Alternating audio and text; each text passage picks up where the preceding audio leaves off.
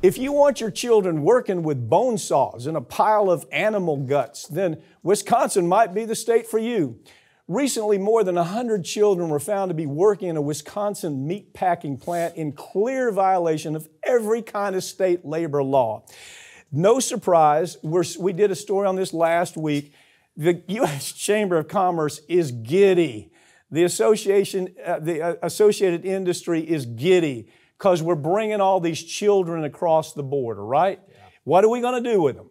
We're going to pay them below average wages because they're going to be working part time. We're going to put them in situations where they can be maimed or killed, lose an arm, lose an eye, and we ship them back home. U.S. Chamber of Commerce, buddy, they love that because they don't have to spend the money going across the border.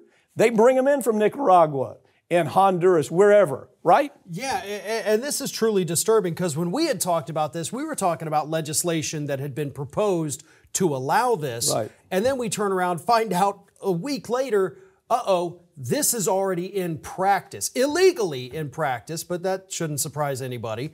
And this company, this Packers Sanitation Services, which is a meat packing plant, and they own plants across several states, all of them with children as young as 13 working around these animal carcasses in unsafe conditions with tools they don't know how to use. They don't understand, you know, what happens if you lose an arm at age 13 because they can't process that kind of future you know injury yet mm-hmm. and, and, it's terrifying that this is happening in the united states but it, it is and i guarantee you this packer sanitation is not the only place doing it but fair look uh, look U.S. Chamber of Commerce, I can't tell you what an ugly, ugly bunch of people these are. First of all, it ain't your mom and pop ha- business down the road. We're talking about 19 of the biggest multi global corporations in the, I mean, on the planet, okay?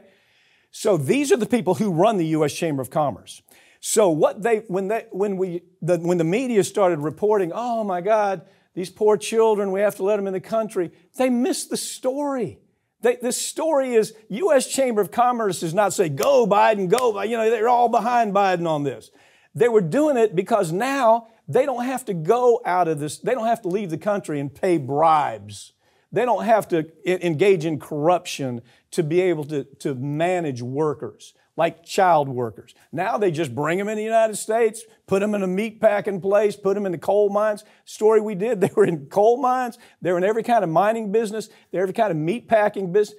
This is the way that U.S. Chamber of Commerce is they're delighted by, right? Yeah, it is. And you know, you and I actually did a story during the Bush W. Bush administration. Yeah. We haven't been doing this since HW, but we've been doing it a long time. so all the way back in the Bush administration, I remember you and I talking about Tyson Foods.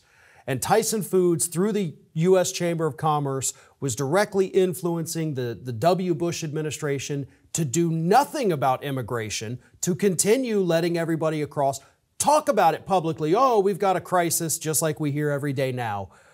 But these businesses, these industries, the U.S. Chamber of Commerce, they control both parties.